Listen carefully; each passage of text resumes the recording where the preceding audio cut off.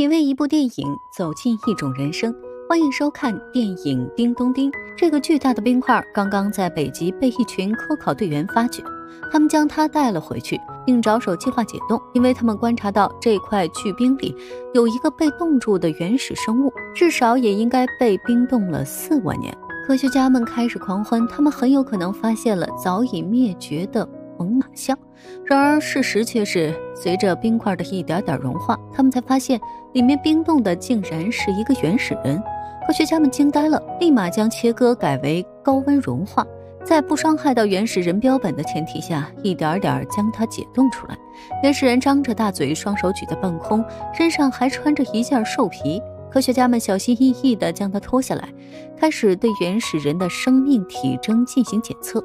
结果发现，他体内的所有细胞基本保持活性，而造成这种结果的唯一可能就是他们体内存在大量的肽糖蛋白，这是一种可以保护细胞不受低温损伤的物质，而原始人很有可能就是在一些植物中大量摄入的。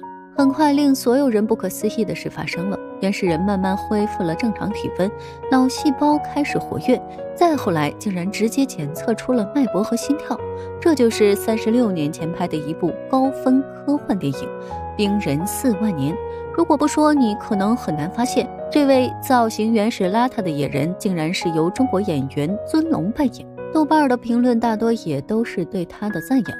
我个人认为，这也是本片最大的看点。科考队员用上了电击、药物注射等所有办法，经过一整天的努力，原始人终于恢复呼吸，睁开了眼睛。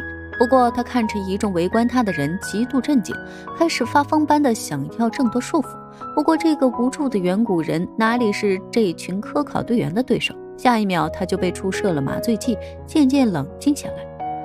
科考队员们开始商讨研究原始人的方案，大部分人赞成要拿原始人做实验，甚至必要时可以对他进行解剖。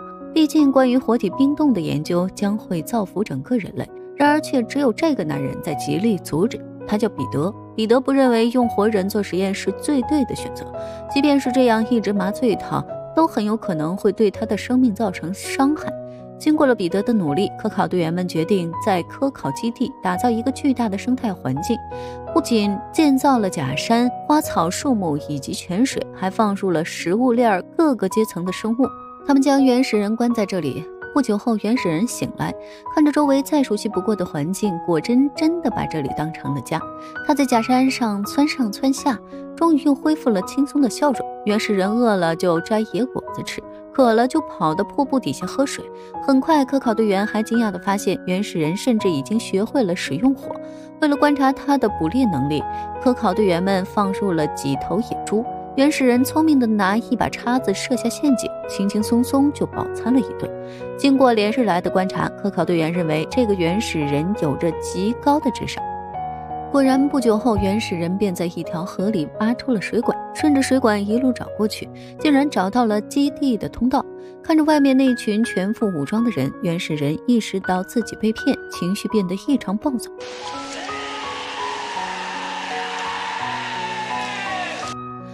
为了能够逃跑，他开始疯狂地破坏基地里的设备，却不知道此时一个科考队员已经拿枪瞄准了他。下一秒，一针麻醉枪射出。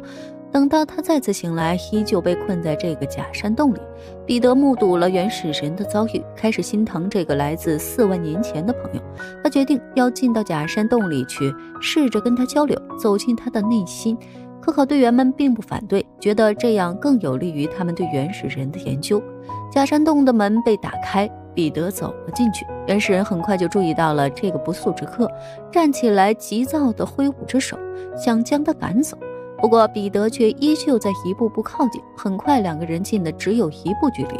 彼得竟然对原始人露出了一抹亲切的笑。原始人抱着石头，疯狂地扑倒了他，不过却并没有砸在他的身上。也许是感受到了那一抹笑容的友好，原始人似乎试着接纳了这个陌生人，对着他的身体研究了一通之后，开始咿咿呀呀地跟他说起话来。彼得根本听不懂他在说什么，大概觉得他是在打招呼。也许他的名字就叫查理吧。作为回应，彼得开心地将自己的名字交给了他，一遍又一遍地纠正发音。慢慢的，他们成为了朋友。查理不再像以往那么暴躁，他试着接纳如今的生活，甚至打到了猎物还会主动分给彼得吃。尽管两人的语言不通，但是查理依旧每天对着彼得说很多话，而彼得无聊时就坐在火堆前教查理唱歌。而与此同时，假山外科考队员们的研究仍在继续。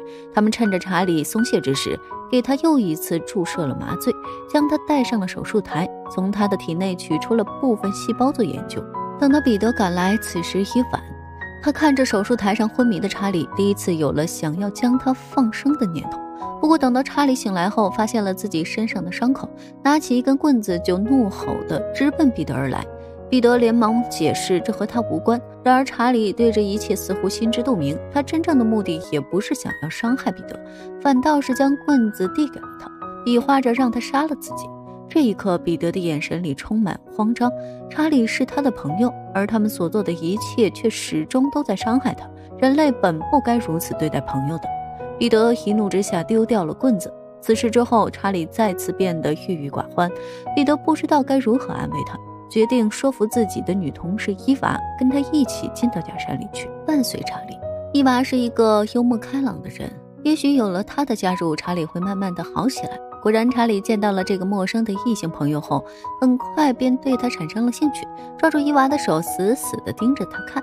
嘴里还在不停地念叨着一句话，而且越说情绪越激动。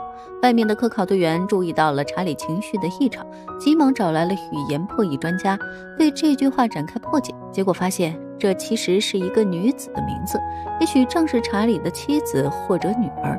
后来，查理时常一个人站在假山上发呆，彼得知道他是在想家人，因为查理会在地上画出妻子的样子，然后笑着指给他看。这天，一辆直升机飞过了科考基地上空。查理看见后，激动地爬到了假山顶上，拼命地想要抓住它，嘴里还大声地喊着“比达，比达”。为了查清这个词的意思，彼得和伊娃找到了附近的一群土著居民，向他们打听，得知了关于当地的一个传说。据说，比达是他们这里信奉的一种神鸟。这种神鸟可以保佑平安。也许四万年前，查理的族人遭到了自然灾害，即将面临灭绝的危机。为了挽救他们，查理便决定前去寻找神鸟，牺牲自己换来族人平安。这个故事终于感动了科考队的所有人。然而，此时的查理却在悄悄计划着逃走。他很聪明，这么久的时间，已经从彼得那里学会了打开这扇铁门的开关。很快，查理便拿着一支叉子闯了出来。远远看见外面停着的直升机，便直接扑了上去。结果直升机瞬间起飞，将他撞倒在地。